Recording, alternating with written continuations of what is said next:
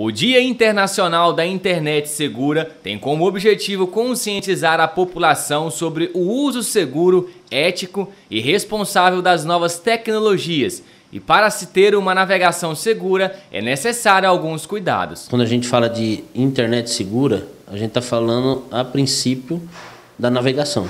Só que a, por trás da navegação a gente tem a máquina, o software e hoje o, o costume muito grande que está hoje é em relação aos softwares piratas. Isso é a grande porta aberta para a questão de vulnerabilidades, de ataques, hackers, vírus e tudo mais, certo? Então, hoje um dos alertas que a gente sempre dá é, primeira questão, softwares legais. Porque esses softwares, ele vem carregado, ele tem a possibilidade de se atualizar, atualizar a questão de seguranças, todas as vulnerabilidades que é encontrada, um vírus novo, alguma coisa, um ataque novo, o próprio software, que nem o Windows, vamos colocar como exemplo, né? que é o software pago. É, então, as atualizações já vêm já fechando aquela brecha de segurança, certo? E ah, atrelado ao software legal, né? sem ser o software que a gente fala pirata, né? o, o português mesmo, é, o que, que acontece com o software quando não é legal? Você fa a, a, faz a instalação e cria um arquivo que ele para ele subentender que ele é legal. Mas o próprio antivírus, se você vai colocar, ele já entende que aquele arquivo é um arquivo infeccioso. Né? Então você está é, tá colocando já a vulnerabilidade com as próprias mãos. Né? Porque não tem um software legal, que não tem um software original. Entendeu? Então hoje a gente tem que tirar esse clichê de software. É, já foi muito mais caro. Hoje já está bem mais em conta, já dá para a gente fazer investimentos.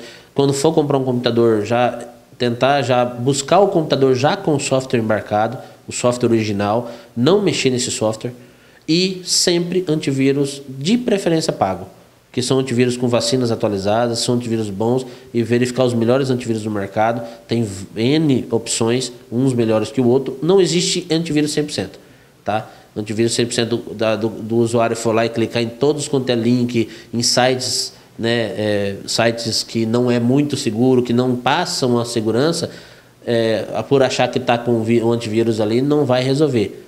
Você vai abrir a porta, você vai infectar e vai ter trazer uma vulnerabilidade na sua segurança. Hoje é muito comum as crianças se divertirem e também passarem o tempo nos jogos eletrônicos e elas podem ser expostas a situações de risco. Muitas das vezes as crianças não têm as malícias de saber quem está por trás, é, jogando naquele momento e até conversando em chats dentro do próprio jogo. E para isso, para que tenha uma segurança maior, os pais têm que ter o um monitoramento é, e checar com as crianças com quem que eles conversam e o que está sendo conversado. Porque às vezes é, solta alguma algum detalhe sobre eles mesmos ou, ou, a própria pessoa do outro lado da rede força essas crianças a falarem algo ou a mostrarem partes do seu do corpo e, e acaba tendo um crime na internet através de um jogo simples que está na rede. E isso as autoridades também têm que estar vendo, analisando isso.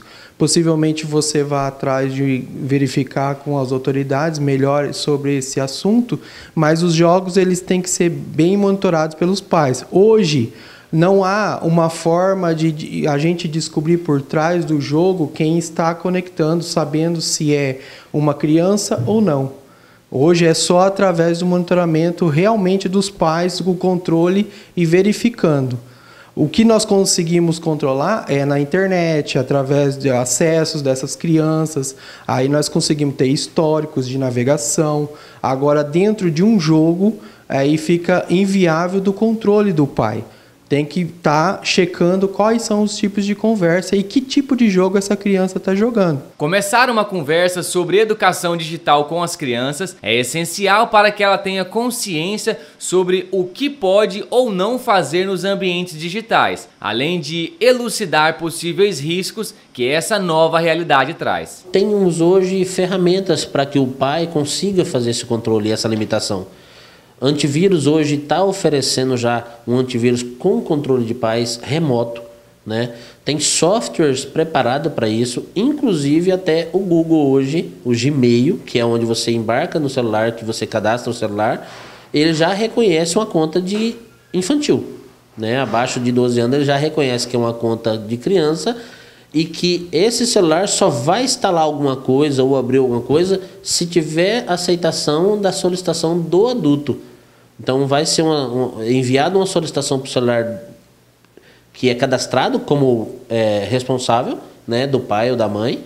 E a partir da hora que a criança clicar em um app, um app, né, ou é, clicar para baixar ou instalar alguma coisa que não seja dentro da faixa etária da idade dele, vai ir a solicitação lá para o adulto responsável, para o celular do responsável.